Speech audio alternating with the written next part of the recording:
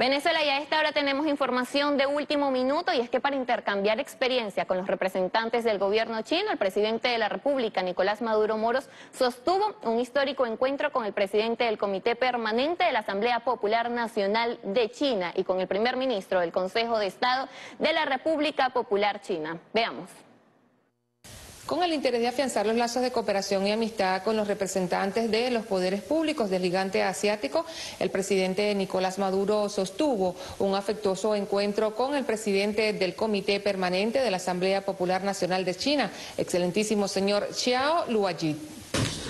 En nombre de la Asamblea Popular Nacional de China, le doy la más cálida bienvenida a visitar nuestro país de nuevo.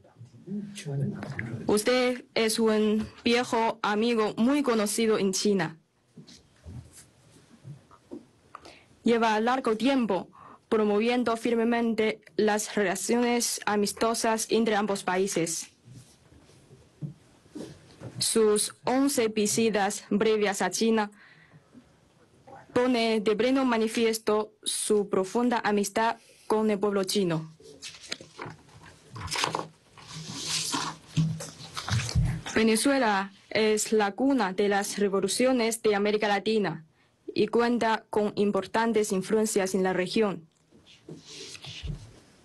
Usted, como presidente de Venezuela, a lo largo de los últimos diez años, desafiando las presiones externas, ha enfrentado activamente todo tipo de riesgos y desafíos. Manteniendo la pantera de la revolución bolivariana en alto, usted ha unido y dirigido al pueblo venezolano a obtener notables logros en el proceso de explorar el camino de desarrollo correspondiente a las condiciones nacionales, por lo cual la parte china aprecia mucho. Estoy convencido de que bajo su firme liderazgo, el heroico pueblo venezolano conquistará mayor éxito en la gran causa de defender la soberanía nacional, rechazar las interferencias extranjeras y materializar la revitalización nacional. Y hará positivas contribuciones a la estabilidad y el desarrollo de la región. Muchas gracias. El presidente Maduro destacó las fortalezas de China como potencia económica. Bueno, muchas gracias compañero Chao Leyi, presidente del Comité Permanente de la Asamblea del Poder Popular Nacional y miembro del Comité Permanente del Buró Político del Partido Comunista de China. Estoy contento de estar en esta asamblea. La he visitado en muchas oportunidades como diputado como presidente de la Asamblea Nacional de Venezuela y como presidente de la República, porque aprecio mucho el trabajo que hacen ustedes por el desarrollo de China, por el fortalecimiento de China. Y aprecio mucho la amistad que hemos cultivado entre la Asamblea Popular Nacional de China y el pueblo de Venezuela y la Asamblea Nacional de Venezuela. Quiero transmitirle un mensaje de saludo solidario del presidente de la Asamblea Nacional de Venezuela, el compañero Jorge Rodríguez, y de todo el cuerpo legislativo del país. Esta visita que hemos hecho ha sido extraordinaria. Todas las jornadas de trabajo, todos los acuerdos, todos los planes, todos los documentos aprobados y firmados en Chenchem, en Shanghái, en Chandong. Llegamos a Chenchen en medio de una tormenta, aterrizamos en medio de una lluvia pertinaz y arrancó una gira verdaderamente histórica. Y luego nuestra llegada a Beijing y las jornadas de trabajo, la firma de 31 acuerdos que yo califico como documentos de trabajo. Le decía al presidente Xi Jinping ayer, esos 31 acuerdos para nosotros son 31 compromisos de trabajo y de avance. La reunión ayer con el presidente Xi Jinping y toda la jornada duró tres horas 30 minutos. Fue intensa y muy fructífera, muy fructífera. Ahora nos toca llevar adelante todos los nuevos consensos para construir una nueva etapa de las relaciones rumbo a los 50 años de las relaciones China-Venezuela. Próximo año cumplimos 50 años y tenemos que llegar en las mejores circunstancias, las mejores circunstancias, a los 50 años, a construir una etapa de avance, de fortalecimiento. Venezuela ha resistido una guerra multidimensional, una guerra híbrida, lo que llaman una guerra de cuarta generación.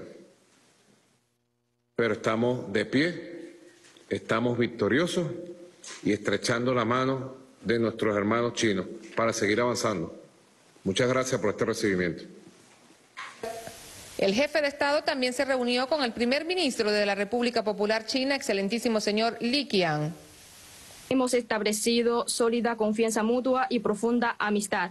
Ayer usted sostuvo un encuentro y también le ofrece una ceremonia de bienvenida con usted.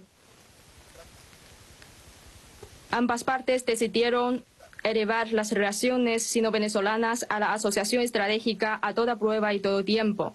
Esto es un hito importante en la historia de las relaciones binacionales, lo cual promoverá la amistad y la confianza entre ambas partes y llevará nuestra cooperación en los diversos terrenos a una nueva altura. Con la orientación estratégica y esfuerzos conjuntos de ambas partes, los vínculos binacionales entrarán en un nuevo capítulo esplendoroso. Muy optimistas y llenos de una fuerza especial por los grandes resultados de esta jornada de trabajo que hemos tenido en China. Extraordinario resultado de los acuerdos y hermanamientos con Shenzhen, Shanghái, Shandong.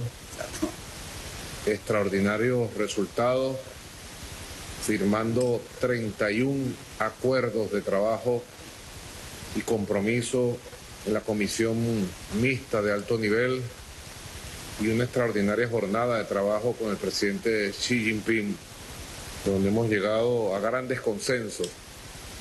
El primero de todos, elevar nuestra relación a una asociación estratégica a toda prueba y todo momento. Es un hito en las relaciones en el sur global marca un camino fundamental hacia adelante, hacia un futuro esplendoroso. Yo he dicho que estamos entrando en la quinta etapa de las relaciones China-Venezuela.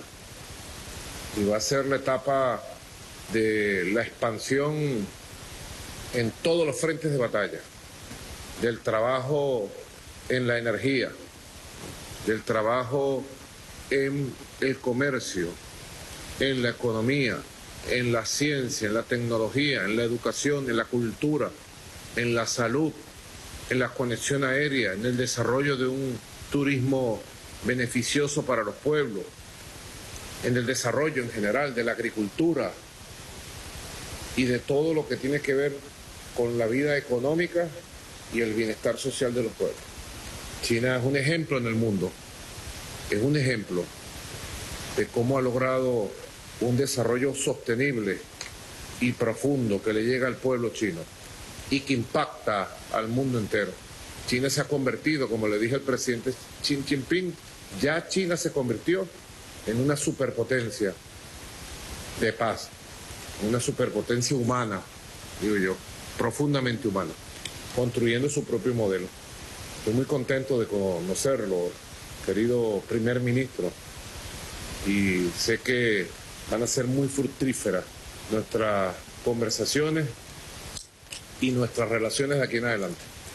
Gracias. El presidente Nicolás Maduro y la primera combatiente, doctora Cilia Flores de Maduro, hicieron una ofrenda floral ante el monumento a los héroes del pueblo, ubicado en la plaza de Tiananmen, como muestra del profundo respeto y admiración para una nación milenaria que siempre ha estado de pie y con dignidad ha librado grandes batallas por su independencia. La asociación estratégica entre China y Venezuela se fortalece bajo los principios de la complementariedad y juntas transitan una nueva época de desarrollo compartido. Desde Beijing, Indira López, la noticia.